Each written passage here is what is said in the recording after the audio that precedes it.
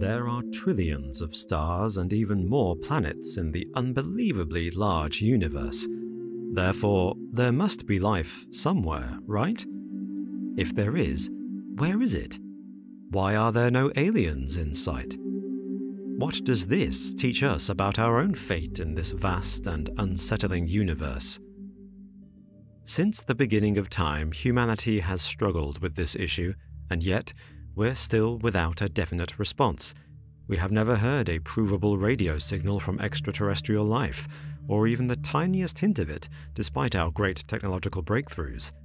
The Search for Extraterrestrial Intelligence, or SETI, Institute, which has been scouring the skies for radio signals from intelligent species since it was founded in 1984, the Kepler Space Telescope, which during its mission confirmed more than 2,500 exoplanets by observing more than 500,000 stars, and most recently, the James Webb Space Telescope, which has just taken its first direct image of an exoplanet, are all part of the current search for alien life.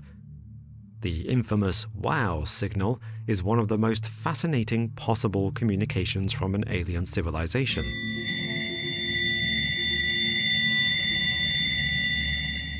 The Ohio State University's Big Ear radio telescope discovered this incredibly brief but strong radio signal on August 15, 1977. It lasted for 1 minute and 12 seconds.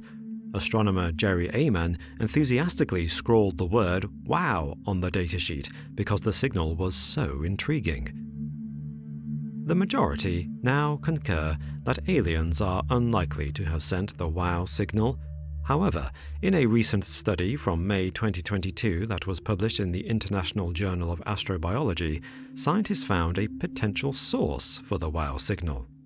A sun like star a little bit farther than 1,800 light years from Earth. Nevertheless, the issue still stands.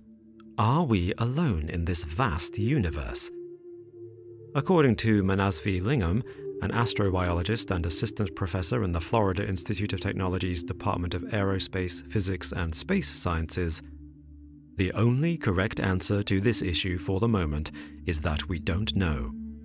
In spite of this, he continues I remain optimistic about the presence of alien life given the number of potentially livable worlds and the intriguing continuing research into the origins of life. Recently, the Pentagon has confirmed that there has been a surge in UFO sightings. Very exciting. We've sighted our first UFO. In the first public hearing on UFOs in 50 years, a top US defense officer told lawmakers that in the past two decades there had been more reports of unexplained flying objects in the skies.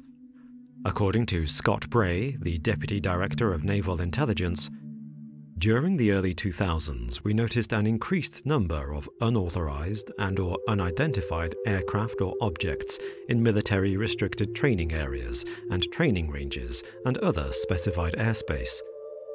Bray linked the increase to both technology advancements and US military attempts to destigmatize the process of reporting sites and contacts. But he claimed that nothing had been found by the Pentagon that would suggest it's anything non terrestrial in origin. But Bray did not completely discount the idea either. Bray stated, We've made no conclusions about what this is or isn't, while admitting they had no explanation for dozens of oddities noticed by military pilots, US intelligence has already stated in a long awaited study in June 2021 that there was no evidence of the presence of extraterrestrials in the skies. Some of these reports could be explained by the US military's radar systems becoming confused due to the presence of drones or birds.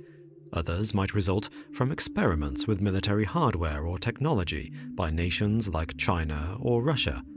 The main focus of the US military and intelligence agencies is figuring out whether these airborne objects may be connected to threats against the country.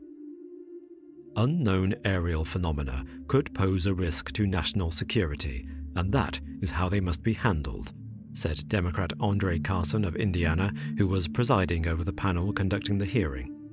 So the question now arises where should we look for alien life? We haven't found enough evidence or created the necessary technology to send a spacecraft into the universe beyond our solar system to look for intelligent life. But there are still many planets and moons within our solar system where we can look for microbial life. Melissa Sedler, who recently earned a Master's of Natural Sciences from the School of Earth and Space Exploration at Arizona State University, says, I find it difficult to decide between sheltered places on Mars or perhaps the ocean floor of small oceanic moons like Enceladus and Europa as the likeliest places other life could be found in our solar system.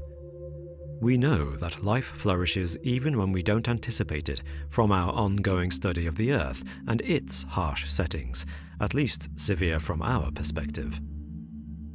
Similar niches could be hidden beneath the surface of Mars or in and among the ice caps. However, the exciting possibility of location for additional life as we know it is opened up by the existence of liquid water. Dynamic processes can exist within planets, dwarf planets, and even moons, and we have known since the 1970s that the deep ocean floor of Earth enables the flow of energy between the Earth and the ocean water, it's possible that the vibrant oases that we observe at hydrothermal vents in the deep ocean have cousins underneath those extraterrestrial oceans. The Perseverance and Curiosity Mars rovers are occupied with looking for ancient, and maybe still existent, indications of life within Gale Crater and Jezero Crater, respectively. The race is on to see which missions, present and future, will finally answer the question of whether we're alone in the universe. Looking ahead, the Dragonfly mission could reveal unique insights into Titan's habitability and possibly unearth evidence of life. The James Webb Space Telescope is now in operation and allows us to look for bio and technological signatures on exoplanets. But how would the discovery of life outside Earth affect mankind? Would the knowledge that we are not alone in the cosmos cause us to unite as one, or would everyone start to go crazy?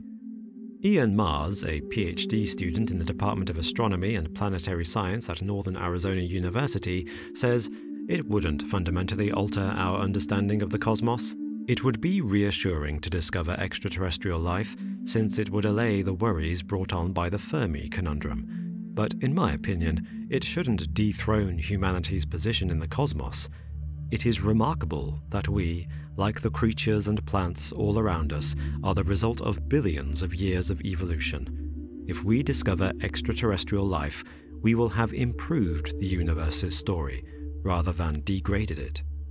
The Mars rovers are still excavating holes close to their landing sites. SETI is still searching the skies for radio signals. The James Webb Space Telescope is still blowing our minds with photos and data. And future missions to probe the outer solar system for indications of life are still being planned. So maybe one day humanity will have the solution to the question are we alone? In the meantime, all we can do is continue our hunt for life. But what do you think? Please tell us in the comments below.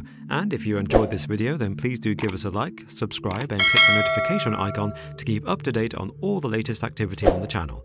Thanks for watching. We'll see you next time.